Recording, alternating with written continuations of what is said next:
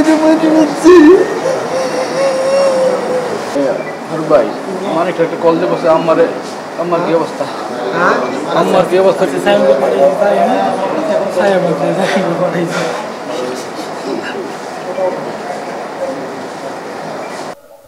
ওর চেহারাটা মানে বোঝা যায় না এরকম কনফার্মও না যে এটাই মনিরুল হক। পরে আমি জানতে পারলাম যে আসলে ওই পরে আমি টিটু ভাই ওর বড় ভাই যে আপন বড় ভাই আমাকে ফোন দিলাম। ওর একটা বাচ্চা আছে, দুই বছর বয়স। দুই আড়াই বছর বয়স হবে। একটা ছেলে বাচ্চা। বিয়ে করছেন।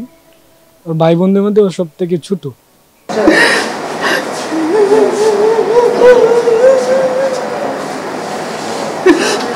প্রশাসনের সবাইকে বলব যে এর শাস্তি মানে সর্বোচ্চ যে শাস্তিটা হয় সেটা দেওয়ার জন্য।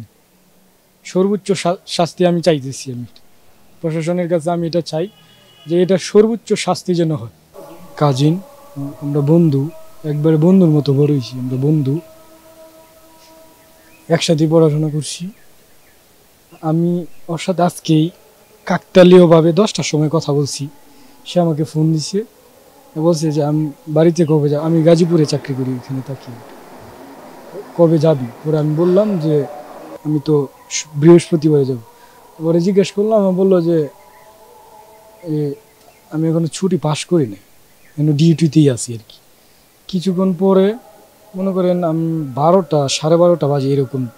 আমি অনলাইনে তখন তখন আমার একজনে মেসেজ করছেন যে, ও ও আমার ফ্রেন্ড মুমেন।